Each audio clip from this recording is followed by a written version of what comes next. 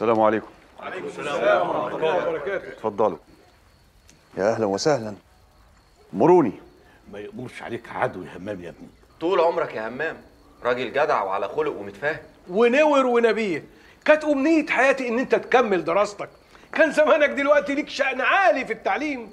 لولاش جدك الله يرحمه هو اللي خرجك من المدرسة.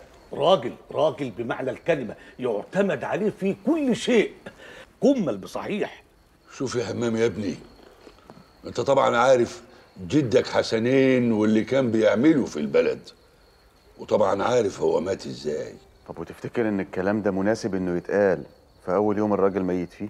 والله يا سي همام أنا كان رأيي ما نتكلمش. لولاش بس الشيخ يوسف هو اللي أصر إن إحنا نتكلم الليلة دي. ده بس من عشمنا فيك يا همام يا أخويا.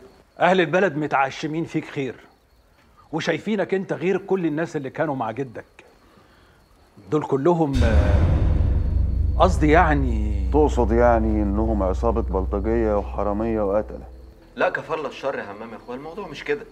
هو بس يعني أيوة الموضوع بس يعني إن هم كانوا ب كانوا بياخدوا اتهوات واللي مش عاجبه كانوا بيغرقوا له زرعه أو يسرقوا بهايمه أو يحرقوا له محصول.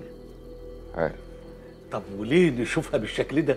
ليه ما نشوفهاش على إن جدك الله يرحمه ويبشبش الطوبة اللي تحت راسه كان راجل محافظ على على البلد وعلى خير البلد هو ورجالته.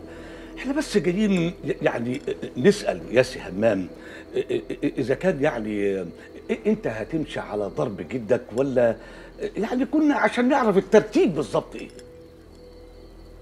امم أقول لك إيه يا شيخ يوسف عايز اسمع كلامك